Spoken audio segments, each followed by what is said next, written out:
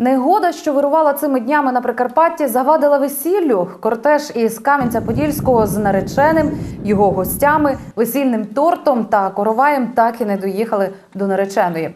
Молоду пару роз'єднали неповних півсотні кілометрів.